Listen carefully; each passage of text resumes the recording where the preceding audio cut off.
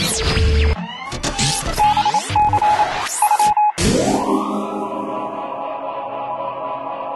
Anthony Eden. Um, I am the creator of DNS Simple, which is a hosted DNS service and domain registration provider. And today I want to talk a bit about uh, the domain name system and DNS and how you can use uh, tools that you have right at your disposal, uh, Ruby, the command line, things like that, to do things with it, to query it, and also to, uh, to modify it. So, first of all, a little bit of background. Um, the whole point, really, of the DNS system is so that we don't have to address things by numbers. It's almost like if every one of us in here were addressed when we were speaking to each other by our phone numbers. So it's like, hey, 321-505-0025, how you doing? That wouldn't work very well.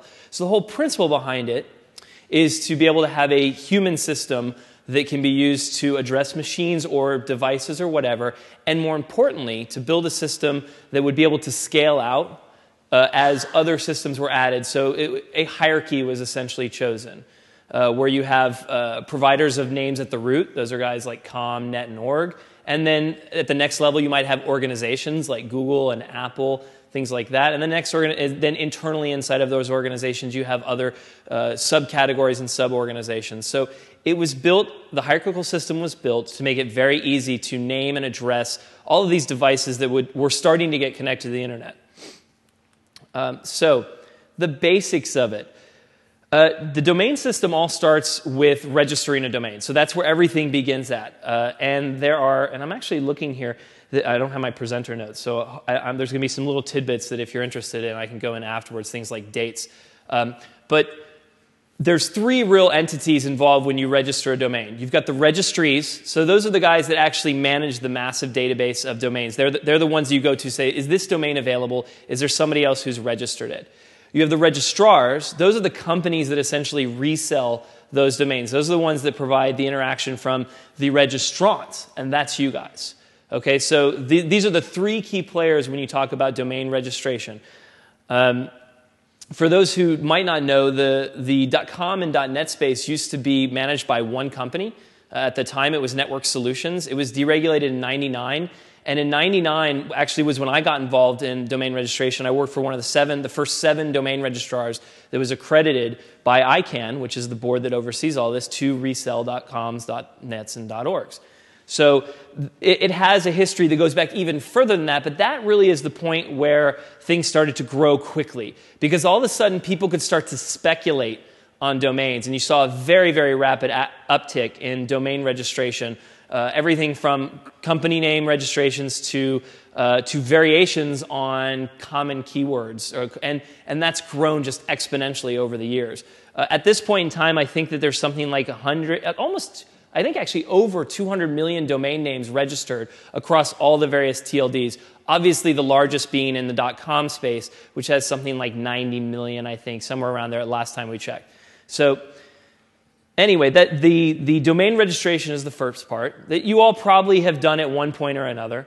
DNS is the second part. This is the point where somebody says, okay, now you've registered a name, and I need to be able to take that name and point it to resources, whether it might be an IP address for a machine, or I might, that's ultimately where everything sort of gets pointed to. Uh, alternatively, it might provide hints as to uh, what mail exchanges you should use when delivering mail. I'll go over the records in a little bit. So DNS is actually the domain name system. That's that's the collection of servers that are all over the world that are serving up the domains and the records to anybody who tries to connect and does a lookup. Uh, it's a distributed system. There are some main central players. So, it, for example, in the dot .com space, there are 13 uh, listed name servers. Behind that, there are likely more. So, in other words, you know, even though you have a single IP address, most likely that is actually corresponding to multiple sh- machines behind the scene. But the point is, is that they're distributed all over the world. Uh, no one entity controls all of these DNS servers. Uh, you have servers that are in the United States, servers that are in Europe, uh, servers that are, in, uh, I think, Asia and Australia as well. Anyway, so you've got the DNS system, and then that from those roots it goes out to uh, to the DNS systems that that the companies and the organizations provide where they can put in records that have been delegated to them. So, for example, Google.com gets delegated down to servers that Google manages, which then internally may delegate further down the chain to servers that are managed inside of departments. Uh, if, you've, if you've ever been to school at the university, a lot of universities structure their systems so that they, they really decentralize their DNS, and departments might even manage, at least it used to be this way, they, they might even manage their own DNS servers. So you got DNS at that level. Um, when you talk about DNS, like I was saying, you've got root. So these are essentially the .com, .net, and .org. Those are the roots. That, those are where all the requests go to start. Uh, you have authoritative name servers. So these are the name servers that are said, I am actually responsible for the maintenance of these records for this particular domain. And then you have recursive name servers, and these are name servers that are essentially out there that when your, your computer, your laptop that you might have flipped open or your iPhone, goes to look for a name, the first thing it usually does is go ask a recursor, whatever is nearest to it. It says, Do you have this? The recursor says, I don't, or I do. And if I don't have it, it says, I don't, but go look here because these guys have it. And essentially, then you recurse, and it starts back and it says, Well, if you don't have something.com, who does? Well, we may not know that, but here's who has .com. Goes back down to the root, says, okay, you have .com. Tell me who has this second level domain, so google.com. Then it says, oh, that's handled by Google. And then it returns the results. And ultimately, that recursor caches that so that lookups are very fast after that first lookup. DNS lookups generally are very fast on a whole relative to a lot of the, the types of uh, transactions we're used to. If, uh, a lot of us, I don't know if all of us do, but a lot of us have probably at one point or another built a web app. So the times for doing uh, queries onto a DNS server are usually, um, well, maybe not if you're Google, but in a lot of cases, orders of magnitude faster than what you get to an HTTP server. Um, I don't know if we'll have time to go into why that's the case, but uh, we can talk about that a little afterwards if you're interested. So, inside of these DNS servers, you essentially have two things. You have the domain itself, usually, which is the zone. That might be a term that you've heard. And then the zone has a whole bunch of records inside of it. And the records are everything from A records, which represent an address. So it says, okay, this name points to this IP address. That's where everything ultimately resolves to, or in many cases does. You have other records like CNAME records, which are, say, the canonical name for this record is over here.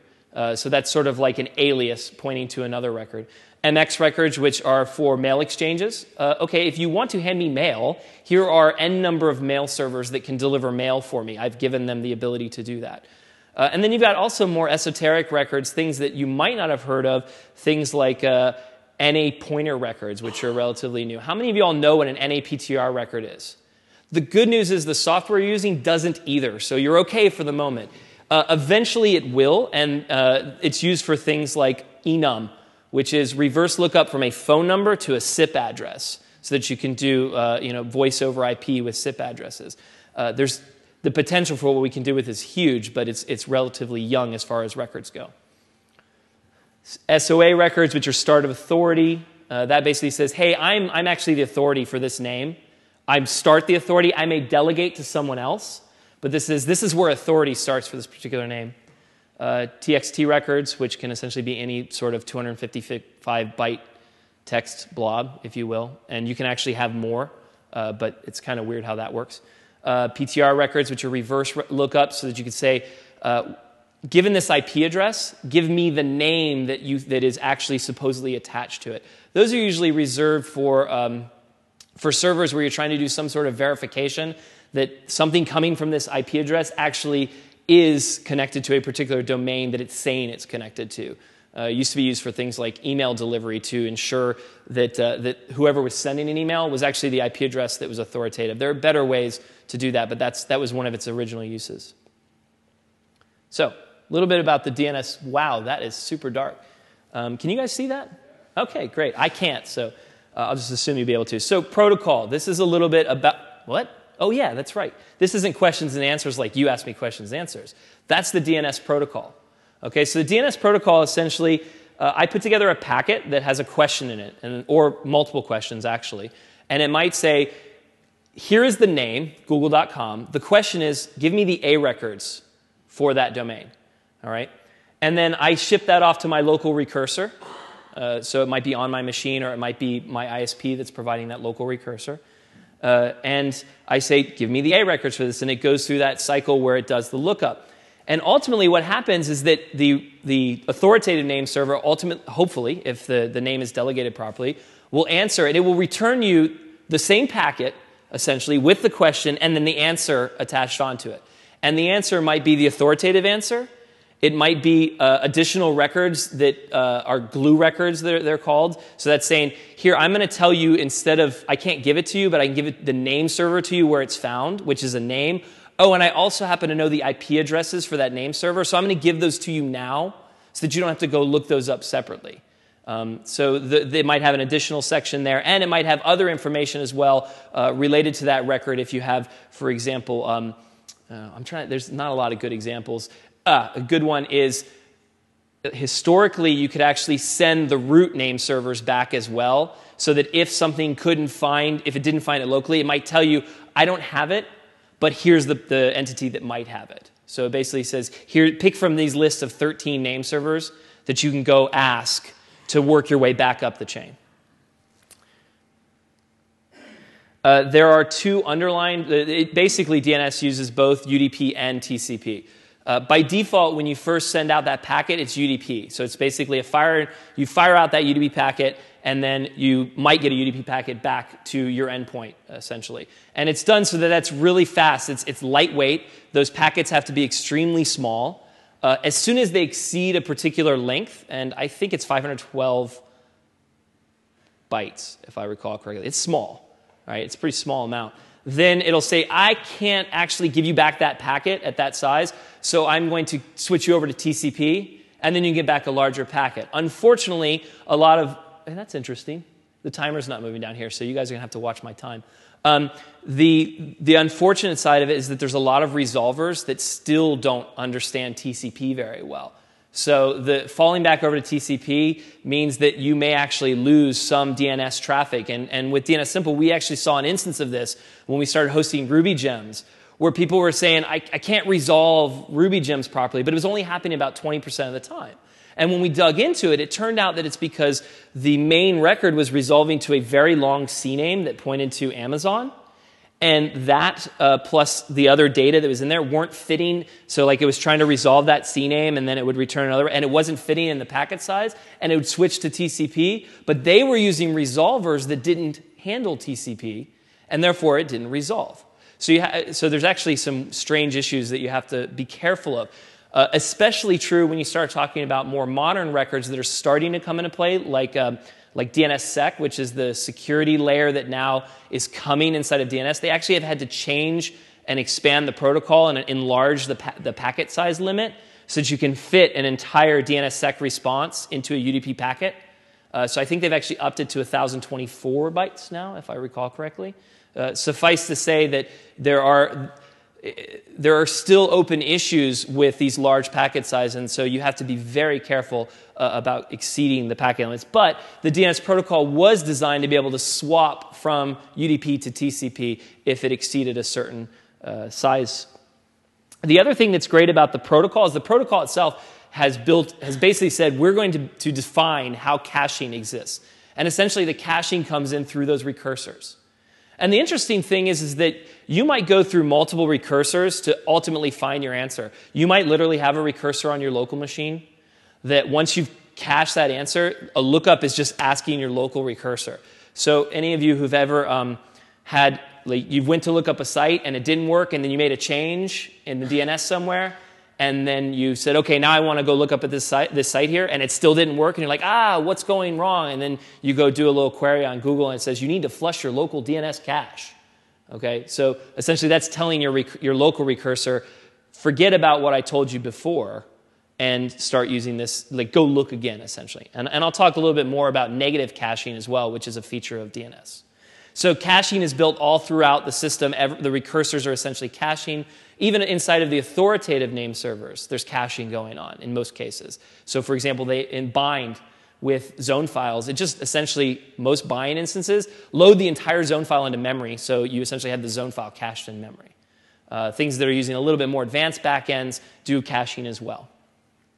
So, speaking of bind, let's talk a little bit about the servers that you can use to do DNS uh, authoritative DNS, and a lot of these actually do recursors as well.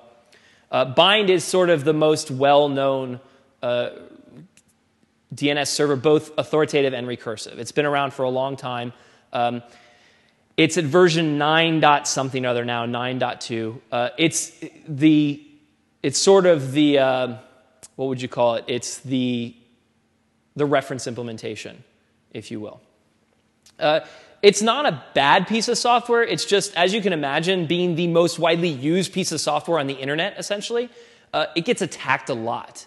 And also, DNS happens to be a good uh, attack point if you want to do bad things and take over networks.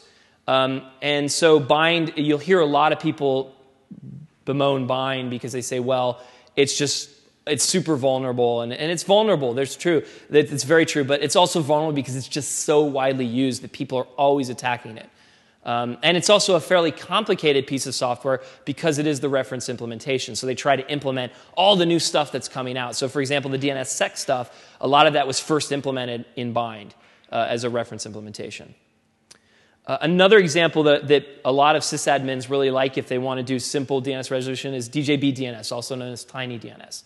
Uh, it was built specifically as the, the antithesis of bind. Super small, very lightweight, handles both authoritative and recursive, very fast, and extremely secure. So much so that, uh, that the, there was always an open invitation. Hey, if you can break into it, I will essentially, uh, and I can't remember what the prize was, I'll give you a prize, right? And as far as I'm aware, I don't think anybody's ever broken into it, but I could be wrong about that. So, or found a vulnerability in it. The third one that I, this is actually the one that we use and the one that I think is, is sort of a nice middle ground between those two. It's not bind, but it's not so simple as, as DJB DNS. So this is Power DNS. It's open source. There's also a, a, a business that sits behind it that can, that can help to, um, to answer questions. They can provide service contracts and things like that. Power DNS is really great though because it supports multiple backends uh, it's, it's fast. It has uh, all kinds of caching built into it. But you can actually have uh, bind backends, so it can read bind zone files. You can have database backends, both MySQL, well, MySQL Postgres and uh, SQLite. Uh, we happen to use MySQL as the backend for our databases because of replication. So it's really good. Since MySQL has, a, has historically had replication for longer, that's a little bit more stable, we use that for our backends. And it's really fast because it actually caches questions that have come through and has its own internal mechanisms for faster cache clearing for particular questions that are coming in, looks at the time to live on the DNS records, things like that. Um, you can also, and this is kind of cool, uh, so in addition to the database backends, you can have what are called pipe backends. Uh, and this, to me, is one of those. This, this actually first brought me into Power DNS and got me interested in it. Um, so we, we had to do uh, we had to see if I can explain this here a little bit. I used to run the root. I still do run the root for .mp, which is the Mariana Pacific Islands. And uh, if, if you all remember back a, a while ago, um, uh, VeriSign attempted to make all .coms that did not resolve actually point to a page that they put up because they were helping everybody, right? That was this site finder or something like that. I, yeah, you can get, supply your own air quotes. Um, well, we did the same thing for .mp. The difference is we're small enough so nobody cares. But essentially what we did is we said we want all things that don't resolve to something else to go to, to answer to this other system.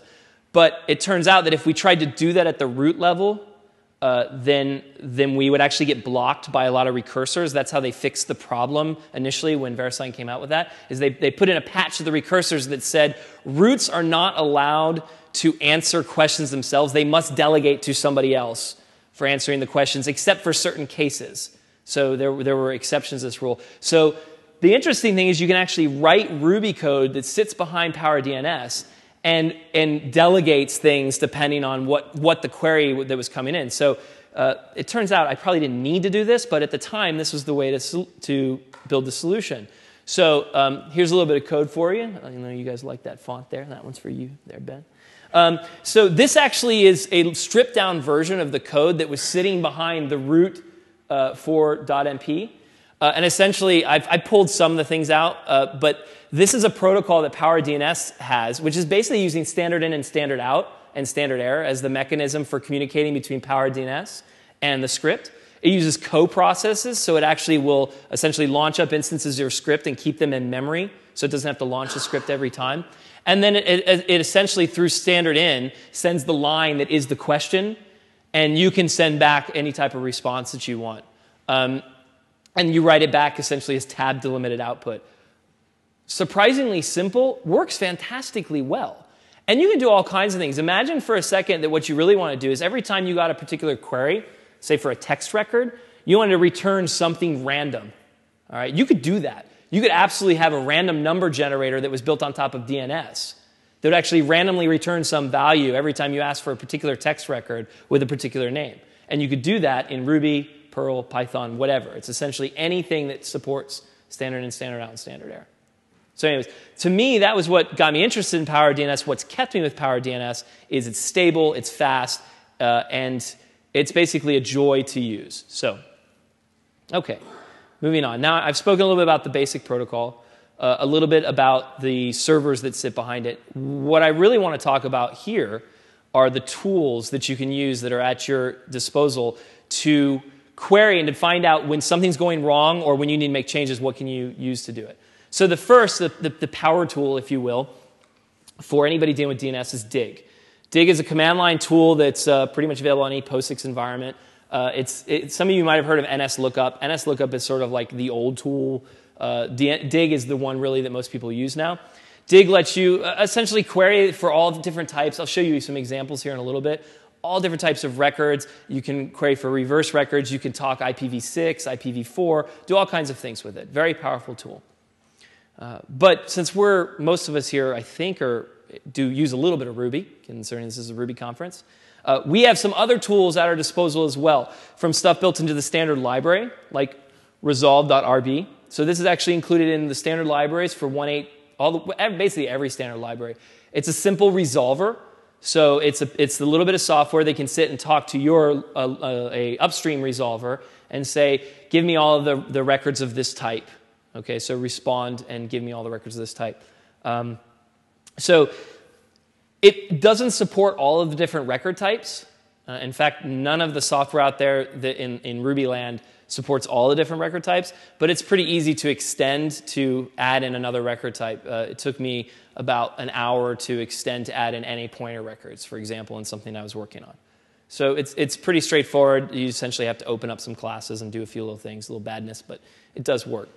Um, the more powerful version, which is this is not in the standard library, but it's available through both through GitHub and also as an installable gem, is NetDNS. It's modeled after Perl's NetDNS, uh, but with this, like sort of with some redesigns that make it a little bit more idiomatic inside of Ruby. The neat thing about NetDNS is you could actually write a server that use NetDNS under the hood because it has the ability to uh, read and write the raw data that that's inside those packets. So you could actually build a, ser- a, DNS server in Ruby. The Resolv library that's built into standard lib doesn't, it just lets you ask questions. This one, you could actually build an entire, I don't do this, but you could build an entire DNS server in Ruby um, with that. Even that, though, doesn't support things like NA pointer. So there are a lot of, re- and none of them support the newer DNSSEC stuff either. Uh, they're, they're, I imagine that's coming, uh, but it's still it's still limiting. Uh, you'd have to extend it if you were going to build a real full fledged DNS server. Uh, that one's available up on GitHub. So you've got Dig, which is your command line tool. That's like your quick go to. It's going to output text. You've got Resolv if you need something that's in the standard library that you can get at, that you can essentially query things really quickly. You got NetDNS if you need something that has a bit more power and that could potentially allow you to serve things up. Uh, and then that essentially covers the DNS side of it. Uh, there's one more thing that's, I think, kind of interesting and kind of useful. There's this thing called Whois. So, Whois is essentially a public database that is used by registries and registrars to publish information about ownership and management for a second level domain or a third level domain or whatever. Uh, so, for example, uh, I can look up google.com and it will, it's a, the protocol is extremely simple. It's like Answer on this port, there's going to be just the name that comes in. Give us back a big text string. We don't care what you put in it, just give us back a big string of text.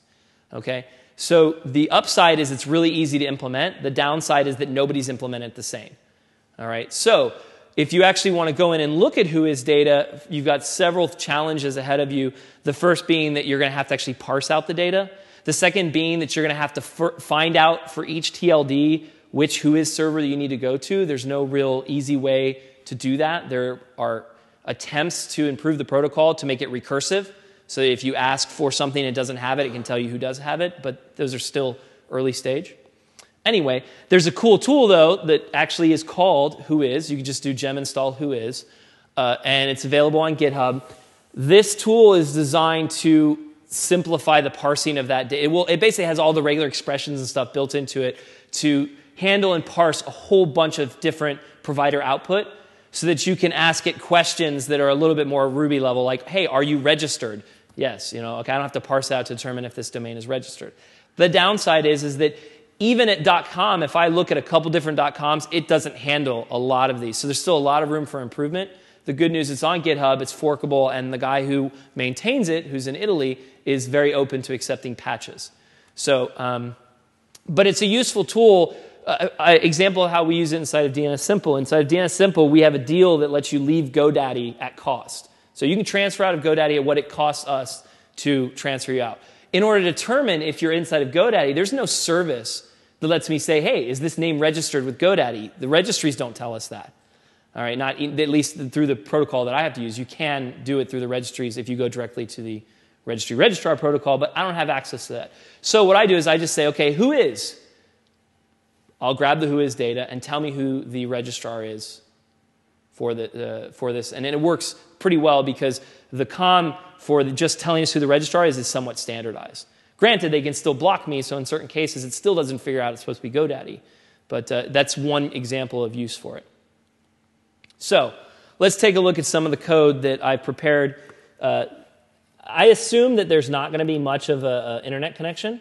So I've, I've gone through and sort of run through some of this stuff uh, back at the apartment. Uh, so here's some examples. Can everybody see this okay? Because I don't think I can get it much larger, but I'll, I'll, do the best that I can here. So here's an example on the command line. If I said, okay, dig anthonine.com. All right, so uh, I get an, an, output that's essentially um, shows me, and, and, interestingly enough, this is kind of the bind output format. This, that's what it is. It's the same format that bind uses in its zone files. Uh, it tells me what version of dig it's using. Uh, it tells me the answer that it, the question and the answer. So you see the question section, it repeats that back to me, but as a comment.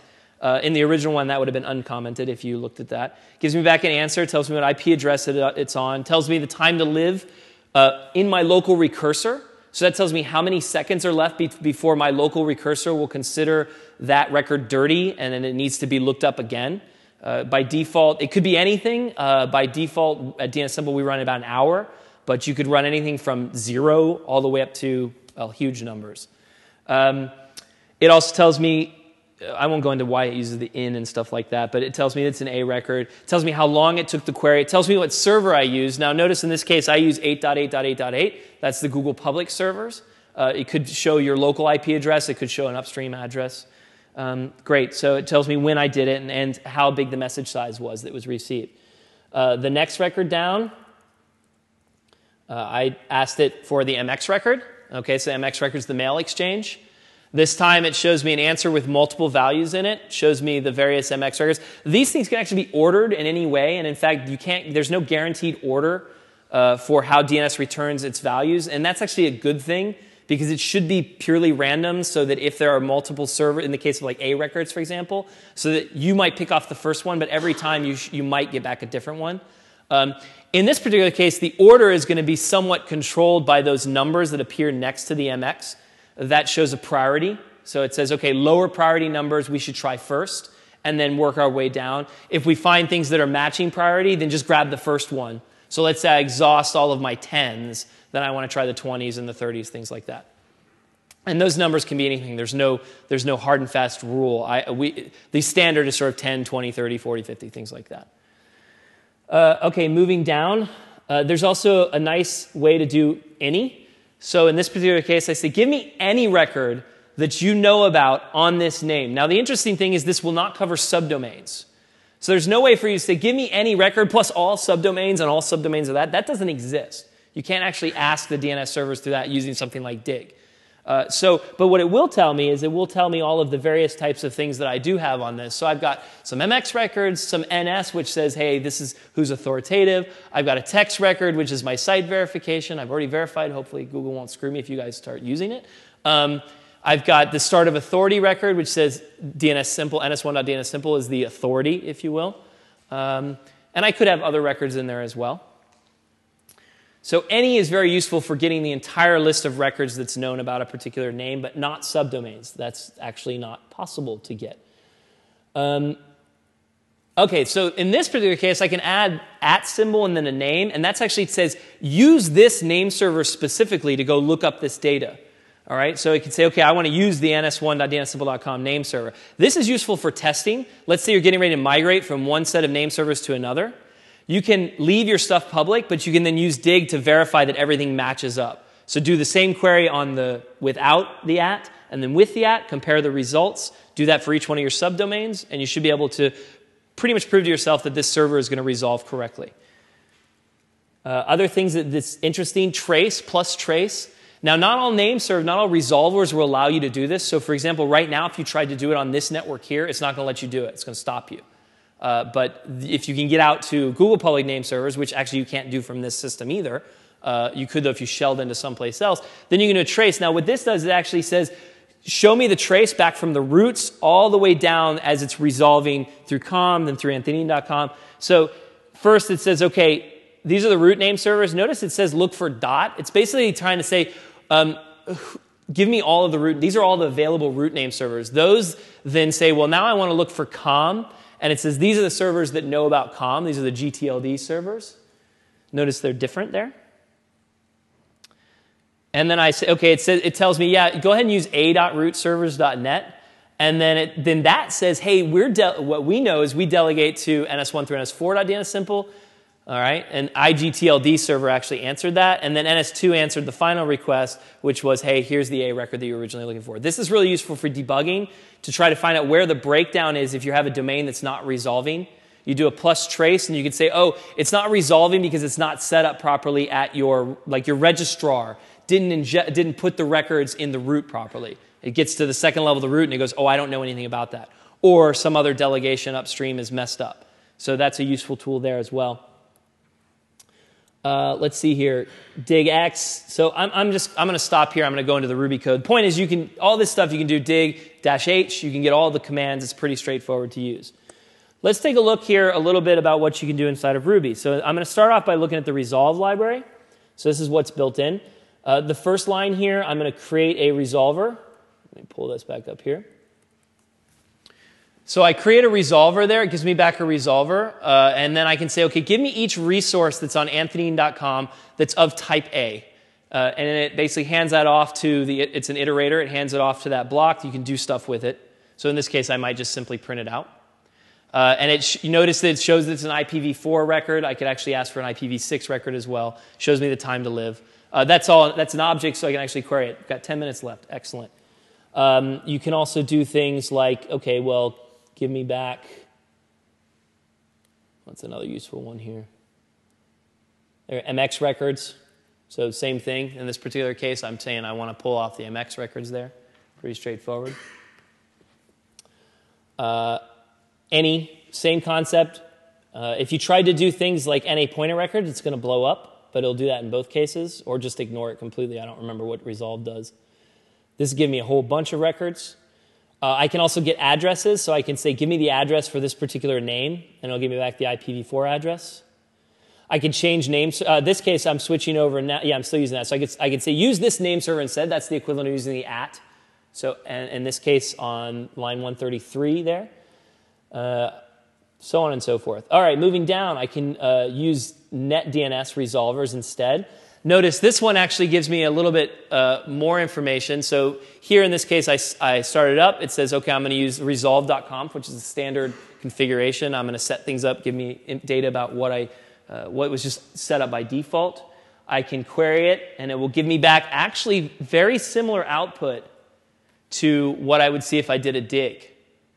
So the question section, you have the answer. But the neat thing is underneath all of that, you have objects that you can work with that you can query. So taking a look down here, past the any. Right, so here I say, okay, I've got a result that I queried. This is, I'll move this down just a little more. So I have this result. Give me the header that I got back. And I can actually ask it questions. What was the number of questions that I had in there? Uh, what were the number of answers that I had in there? Give me back the question itself. I ask for the question. It gives me back something that can be represented as a string. So that's here on line 285. And at the same time, it's actually a collection of questions. So it's an array. I can go through and I can map and say, give me all the Q class, Q name, Q type, uh, so, and you can do that with all the answers. So you can do all kinds of advanced, you could basically write Ruby code that could do deep querying on, site, on DNS through either this library or Resolv, really. Um, next one is Whois. That's just a simple example of how I can say, okay, give me back a result for google.com, and then tell me if it's available, if it's registered, when it was created, who the registrant contact is for it. So but you can see already the data starts to get messed up. Okay, the address is please contact contact admin at google.com. So this is it attempting to parse results, and you can already see that it still needs work. But it's a starting point. It's a lot better than trying to, maybe not a lot better, but you're going to end up having to write that yourself if you end up querying Whois. Uh, so you can also ask when it expires, give me its name servers, things like that. Uh, the final thing I want to show you, and, and, anybody who wants to see this more can come to me afterwards. DNSimple has its own API that's REST based. I've already written a Ruby library that talks to that library. So you can do things like this. Uh, I can check a domain's availability, and that line is actually going to go to the, our servers and actually ask the registry, is anything available? And it's going to come back with an available or not available. So that's better than Whois because it's more accurate and timely. You can get a list of all of your domains so, for example, I could see various domains, activewarehouse.org, anthonyeden.com, things like that. Um, I can also look at records too. So I could say, okay, give me all the records for anthonyeden.com. Uh, and this library is fully open source. It's up on GitHub uh, under aetrion slash dnsimple dash ruby. So you could take a look at all the code underneath. It's pretty straightforward. Um, it just sits there and spends most of its time talking HTTP uh, over to the REST servers, which do all the hard work. So, that's an introduction to the code. So, now what I find interesting is that there's a lot that we can do with DNS. We've just, like, everybody's so used to using DNS for what it's used, used for in most common cases. But what I like to think about is how can DNS be used to do things that we're not using it to do yet? All right? So, DNS is quite good at basically saying resolving a name, right? That's what it's there for. So, what if we were to use it for things like, I don't know, dependency resolution of software? All right. So, anybody who's ever tried to run an install on uh, uh, with Bundler, if you're if you're doing stuff, knows the bundle install. Wait, wait, wait, wait, wait. You know that that whole wait cycle where you go off and have a, co- a cup of coffee. What that's actually spending a lot of its time doing, as there's articles that have been written up on this, is it's going and it's getting all of the dependency data that's stored in YAML files all right? Has to go through to one big file first download that. As, as that file gets larger it's more and more data it has to send over. Then it has to go and look at individual dependencies and figure out which ones those depend on so on and so forth. So uh, there's actually I, I, put a gist together and um, and uh, jeremy who if you went to the data talk last session actually was a little bit involved working on too the idea i think is feasible with simply cname records and pointer records where we could actually do, and we've proved that you can do dependency resolution, including things like the tilde greater than resolution. Because all it is, is I just want a, not the entire name, but a subpart of the name. Because that's essentially what it does. Oh, if I want the latest, I just want the name of the gem itself without the version information in front of it. So if I have a bunch of CNAME records that represent these things, theoretically, you could do your dependency resolution entirely through DNS speeding up the process because you, you get the benefits of a, a, lightweight protocol, you get the benefits of caching. You could actually override things locally. So let's say you're inside of a corporate firewall and you have a bunch of things that you can't publish out to the public. You have your own little corporate internal name servers that could just happen to respond for certain dependencies and say, don't use this, use this. So there's all kinds of neat things that you could potentially do with it. Uh, we can extend beyond CNAME pointers and go into things like NA pointers to find the best download point. So rather than having to have like a whole list of, of servers that might potentially provide downloads, you could actually re- have that in DNS.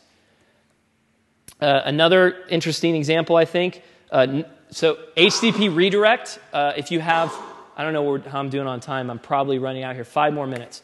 So right now, if you set up an HTTP redirect from one domain to another, it has, it has two things it has to do. First, it has to go have some name server that says the redirector is at that, this IP address. Okay? Then the request goes to that IP address, and that server has to query back into the records and say, give me what the URL is that I'm going to redirect to, and has to do an HTTP redirect.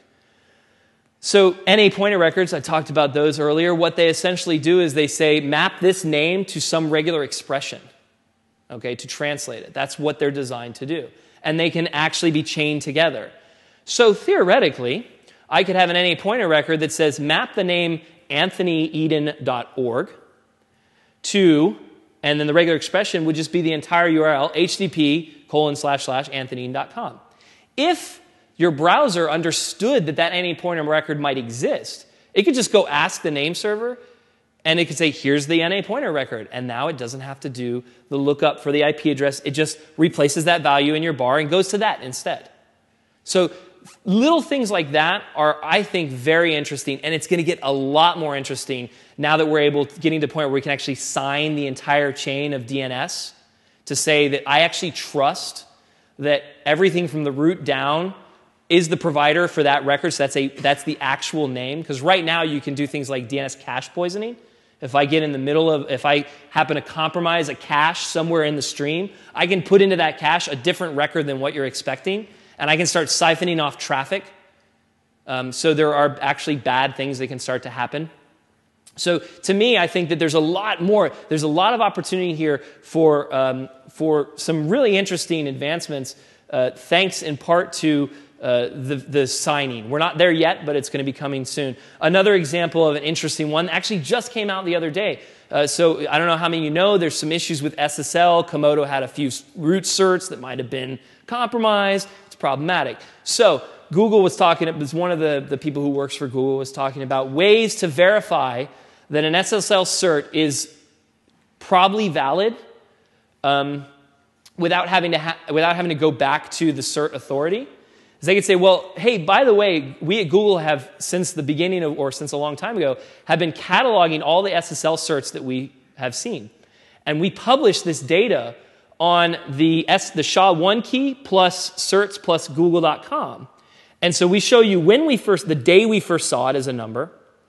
Uh, we show you the days since we last saw it or something, like, or how many times, yeah, that's right. Day when we first saw it, day when we last saw it, and the number of times we've seen it in between then. And you can actually use that to sort of determine, hey, that, okay, I see something which I've never seen before. Like, let's say I, add, I query for that and that SSL cert doesn't exist. That might be a little bit of a warning. Okay, so anyway, I think that there's some, because you're basically using SHA-1 keys as the, the prefix there. That's, that's an interesting use of it. So when I publish these things up, you can go take a look at that. You also Google it and you'll find it.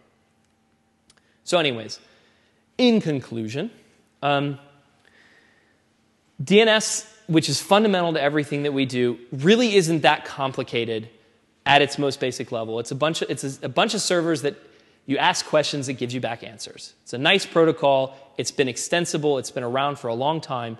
Uh, I think that we still have a lot that we can do with it that we're not doing with it. So I hope to see to start to see some new innovation inside of DNS. Uh, I think that there are parties that do it, but it's not generally known. I'd like to see it more more interesting uses that come out of the developer community that can actually benefit from it. Um,